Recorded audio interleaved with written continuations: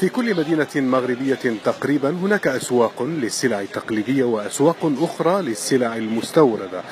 هنا في الدار البيضاء حين ترى الاكتظاظ في سوق السلع المستوردة يتبادر إلى الذهن سؤال حول مقاومة السلع التقليدية لها ولأسعارها المنخفضة جدا مقارنة بالمصنوعات اليدوية.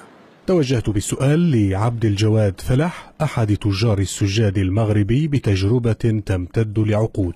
انخفض شوية اثمان الصناعة التقليدية ما بقاتش بهذيك الثمن الغالي كيف اسمه الصين. ولكن الحمد لله الصناعة التقليدية المغربية القيمة ديالها لا زالت معروفة.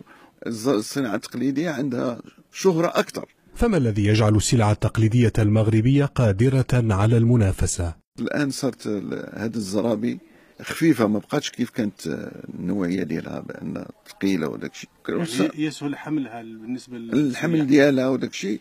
ما كاينش شي منافسة كيف كيف شحال هذه حولت التساؤل إلى أبو قطار المختص في بيع الملابس التقليدية المغربية.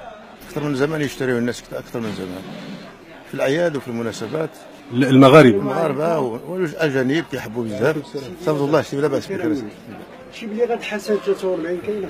زبون مغربي مستعجل قطع حبل حوارنا فسألت السيد أبو قطار عن مدى إقبال المغاربة على السلع التقليدية مقارنة بالسياح.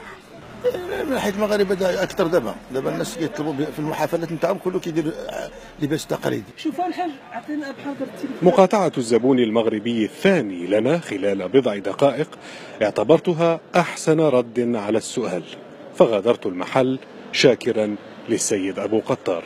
علي أوجانا بي بي سي الدار البيضاء المغرب.